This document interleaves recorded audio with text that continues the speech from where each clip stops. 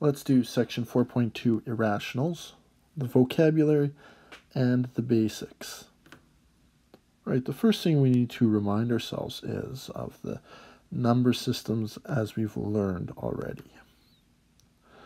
All right, we've got a Venn diagram here of the number systems, and we're going to work from the smallest number system and work our way out. Our smallest number system is the natural numbers. Way down here. We use these bold-faced letters to indicate the natural numbers. And the natural numbers are the ones you naturally start with. One, two, three, four, and the list goes on. Moving up out of the natural numbers, our next level, we have the whole numbers.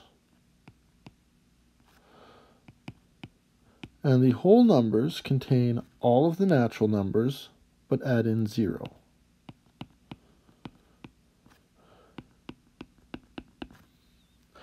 Now above the whole numbers, we have the integers. Integers we can either symbol with a Z, boldface Z, or an I. And these are the integers. The integers take the whole numbers and extend them out into the negatives. So the integers go up and they go back. So all of the whole numbers are an integer. After the integers, we have the rational numbers. Those are symbolized with a Q. These are the rational numbers. Now, the rational numbers is any number that can be expressed as a fraction of integers. So a fraction of integers. So something like 2 thirds, which is 0 decimal 6666 repeating 6. Um, 2 is a rational is a rational number because it's 2 divided by 1. 7 is a rational number because it's 7 divided by 1. 3.5 is a rational number because it is 7 divided by 2. We can also think of these as decimal numbers, decimals that stop or repeat.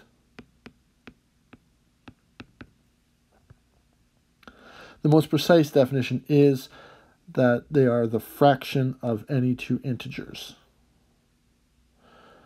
All right, and then out here, we have the real numbers. And those are the numbers that we deal with on a regular basis. Now, what's this box over here to the right? This box is for the irrational numbers. We label it with Q prime, and these are irrational numbers. These are numbers where the decimal does not repeat or does not stop. So the decimal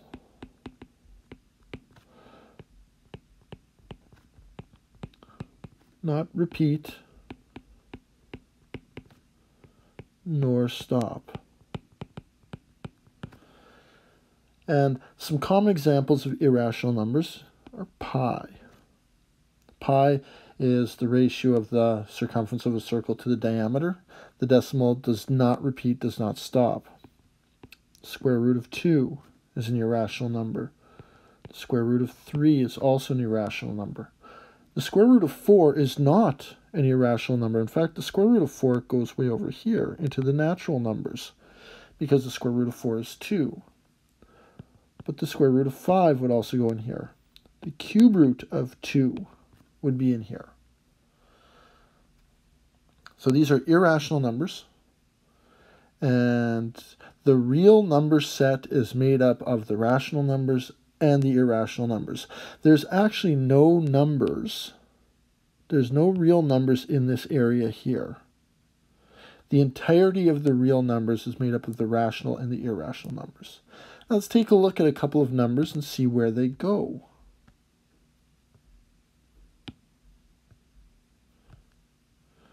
All right, so let's 3 over 5.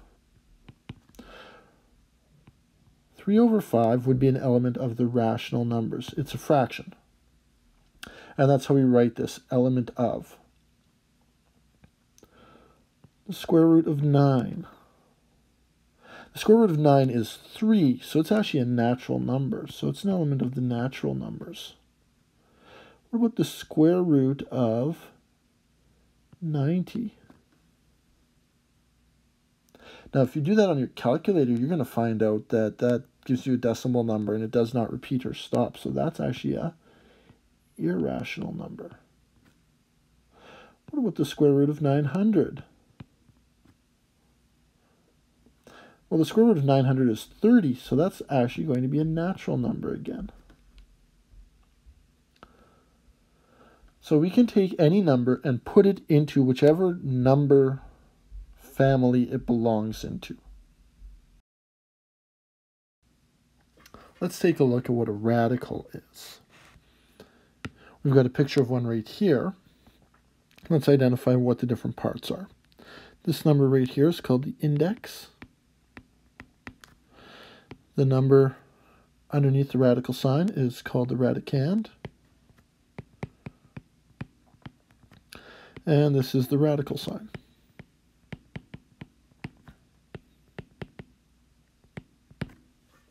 Now, what exactly is a radical? A radical is sort of the opposite of an exponent. It undoes what an exponent did. In a similar way to how divi division undoes what multiplication did, or subtraction is the opposite of addition. If we take a number, like 3, we square it, we are going to get the number of 9. To undo that squaring process, we take the square root of 9 and that equals 3. Now, for square roots, we don't usually include an index number. So if you see a radical without an index number, it means square root. Now this works for everything. So 6 to the power of 4 is equal to a very big number. 6 times 6 is 36, and 36 times 36 is, well, I've got to pull out my calculator to do that quickly.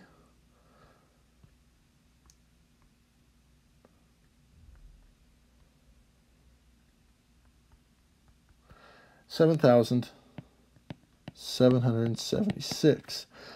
Now the fourth root of 7,776 is equal to 6. It just undid what that fourth power did.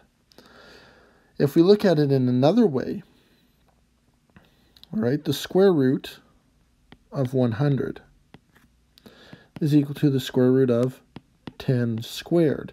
And the square root will cancel out that squared sign and we'll be left with 10.